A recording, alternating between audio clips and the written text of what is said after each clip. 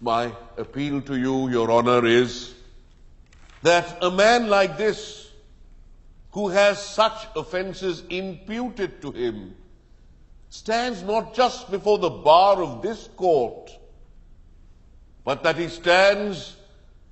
before the High Court of history. Long after this controversy is hushed in silence, long after all this turmoil and agitation has ceased, long after he is dead and gone,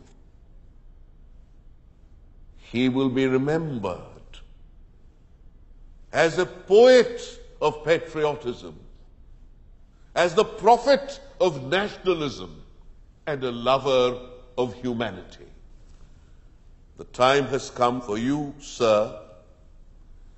to consider your judgment and